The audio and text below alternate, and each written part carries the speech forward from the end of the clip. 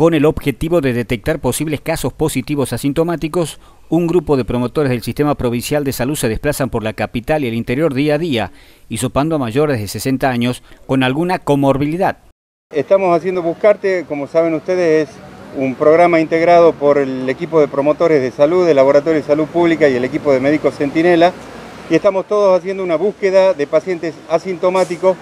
que sean mayores de edad, mayores de 60 años, embarazadas, diabéticos, asmáticos, es decir, que tengan alguna comorbilidad. Para el sistema provincial es importante detectar aquellos asintomáticos que circulan en la vía pública y no tienen conocimiento de la situación.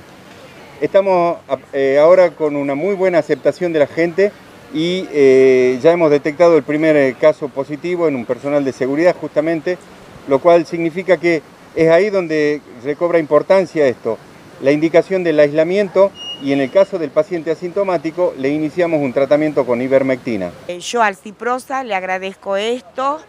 eh, porque un hisopado particular no todas las personas se lo pueden hacer. Me parece muy bien, extraordinario el sistema, rápido